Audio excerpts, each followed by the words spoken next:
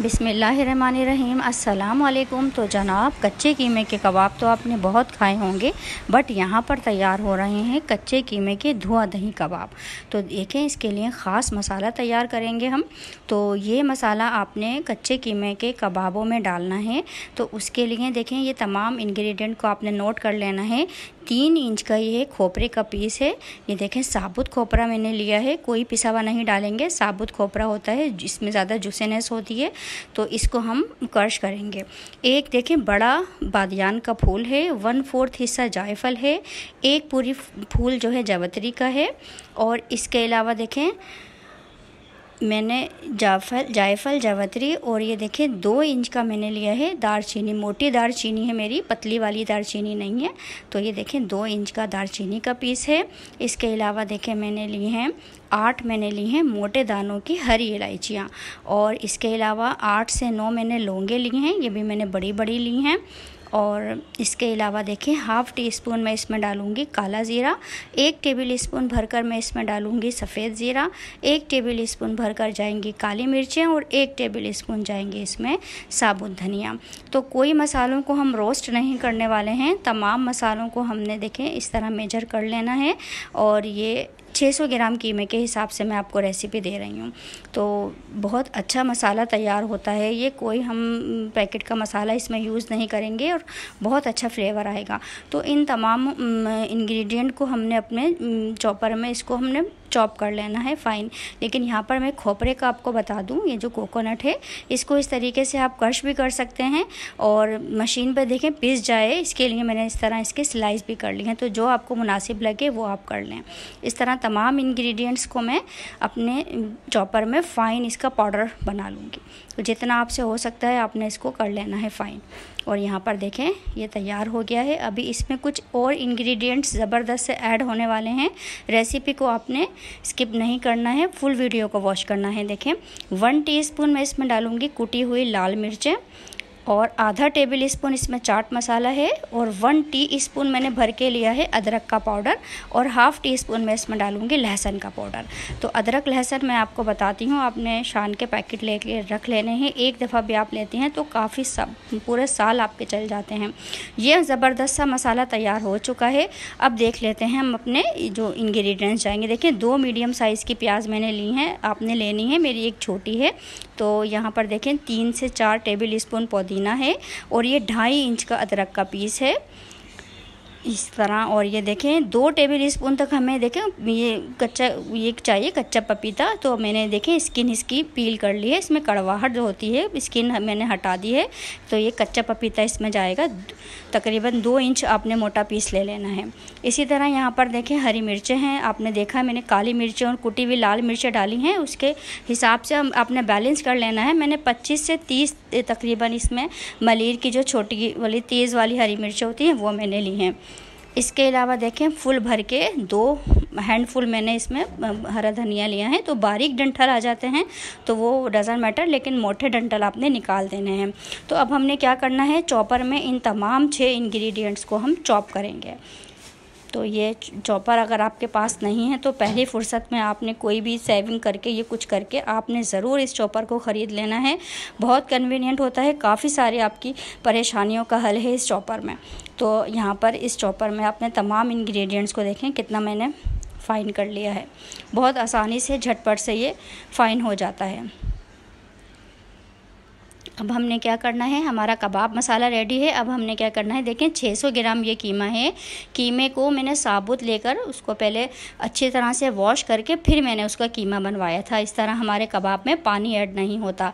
लेकिन अगर आपके पास देखें, कीमा अगर अवेलेबल है तो आपने क्या करना है?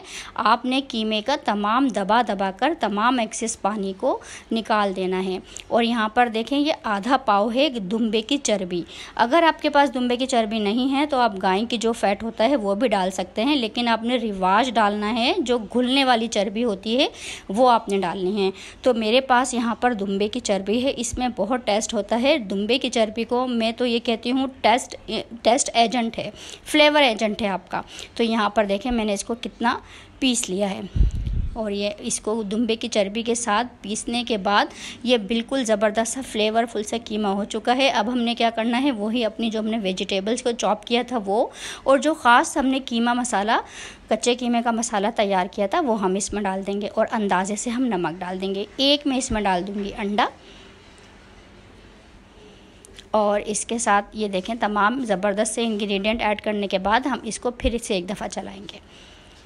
तो जो जो कबाब के टूटने की अहम वजह होती है, वो यही होती है कि आपने इसको प्रॉपर इसमें चर्बी ऐड नहीं की यहाँ पर देखें, एक काम ये मैं करूँगी। मैंने खुश्क दूध लिया है, दो टेबल स्पून भर के। उसमें मैंने बिल्कुल हल्का सा पानी का छीटा लगा के अपने दो स्लाइस को मैंने इसमें सोक कर लिया है दूध में। तो आप नॉर्मल दूध में भी कर सकते हैं बट मैंने इसी डर की वजह से कि पानी ज़्यादा ना हो जाए। बिल्कुल पानी का मैंने छीटा लगा के इसको सोक कर लिया है। इससे ये होगा क्योंकि देखिए प्याज का हमने कोई पानी पानी नहीं निकाला है। तो हमारे जो भी एक्सेस अगर हमारा मॉइस्चर होता है कीमे में तो वो जो हमारा जो हमने स्लाइस डाले हैं, वो इसको सोख कर लेते हैं। ये देखें कितना ज़बरदस्त सा कीमा है।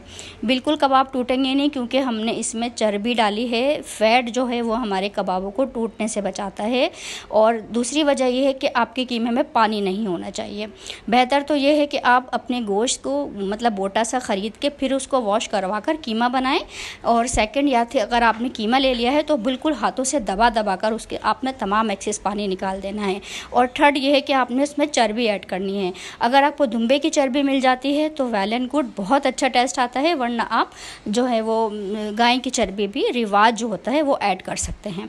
मगर क्वान्टिटी का ख्याल रखना है। अब मैं इसको दो घंटे के लिए डिप फ्रीज़र में रख रही हूँ। ये देखें कंडीशन दो घंटे मैंने डिप फ्रीज़र में रख दिया था ताकि ये थोड़ा सेट हो जाए। अब मैं आपको देखें, इसको बिल्कुल जैसे एक पेस्ट नहीं होता, जैसे आटा हम गूंदते हैं, इस तरह की कंडीशन है। तो दबा दबा कर हमने इसके इस तरीके से कबाब बना लेने हैं। ये देखें, तमाम ज़बरदस्त से कबाब मैंने बना लिए हैं और अब मैं इनको मज़ीद फ्री फ्रीज़र में रख दूँगी, तकरीबन मैं आधे घंटे के लिए इनको रख दूँगी। ये देखें।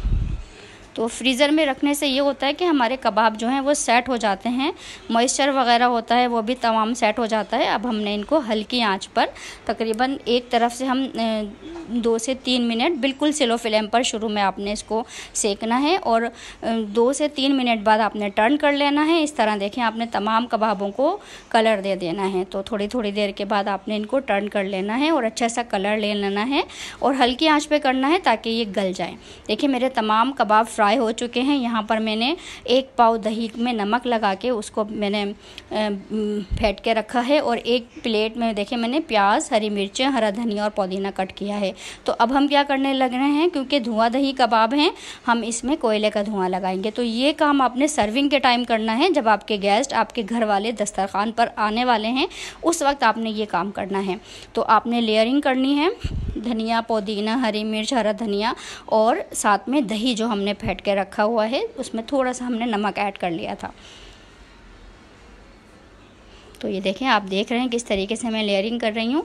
पहले फ़र्स्ट लेयरिंग की मैंने धनिया, पुदीना, दही, प्याज और इस तरह सेकंड लेयरिंग कर रही हूँ, क्योंकि अब हम जो कोयले का धुआँ इसमें लगाएँगे तो वो तो देखें कबाब तो होंगे फ्लेवरफुल बट ये जो दही हम डाल रहे हैं, इसमें प्याज, धनिया, पुदीना, हरी मिर्ची हमने डाली हैं। इन वेजिटेबल्स का एक ख़ास अरोमा इसको मिलेगा कोयले के धुएँ से। तो हर खाने वाला इसको जब निकालेगा डिश आउट आप देखें, करेंगे तो बहुत ज़बरदस्त से आपकी ये रेसिपी आपको हर शख्स इस पर वाह वाह करने वाला है। तो देखें, ये के लगा रही हूँ मैं, कोयले का धुआँ। ये देखें। तकरीबन दो से तीन मिनट मैंने इसको रखने के बाद हटाया है और अब मैं इसको डिश आउट करूँगी, क्योंकि दस्तरखान पर गेस्ट बैठे हुए हैं और ये मुझे सर्विंग के लिए लेके जाना है। और आप यकीन करें, इतने ज़बरदस्त ये तैयार होते हैं, धुआँ दही कबाब। अल्लाह हाफिज़।